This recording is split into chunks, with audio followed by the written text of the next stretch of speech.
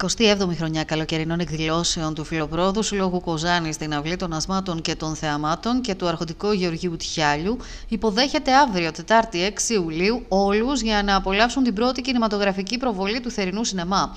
Η ώρα έναρξης της προβολής είναι στις 9.30.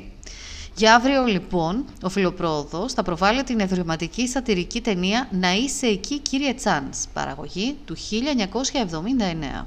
Ξεκινάμε μεθαύριο, Τετάρτη 6 του μηνό, στις ε, θερινές προβολές του Φιλοπρόοδου Σιώγου Κοζάνης. Η πρώτη μας ταινία θα είναι το Να είσαι εκεί, κύριε Τσάνς, μια σατυρική δραματική κομμεντή του Χάι Άσμπι από το 1979 με τον Πίτερ Σέιερς και τη Σίρι Μακρέιν, όπου ο παλέμαχο Μέιβιν Τάγκρια πήρε και το δεύτερο Όσκαρ δεύτερο αντρικού ρόλου. Ο Σέιερς ήταν και υποψήφιος με μια εξαιρετική ερμηνεία. Ε, μια ταινία η οποία αφήνει εχμές μέχρι και σήμερα με τις σατυρικές της νότες. Θα σας βλέπουμε από εδώ και πέρα κάθε Τετάρτη στο θερινό σινεμά. Να τονίσουμε ότι η είσοδος είναι ελεύθερη όπως κάθε χρόνο. Όποιος θέλει μπορεί να φέρει τρόφιμο όμως για την ενίσχυση του κοινωνικού παντοπολίου του Συλλόγου και να ευχαριστήσουμε για άλλη μια χρονιά το κινηματογράφο Olympion που είναι ένθερμος υποστηρικτής αυτής της δράσης τόσα χρόνια.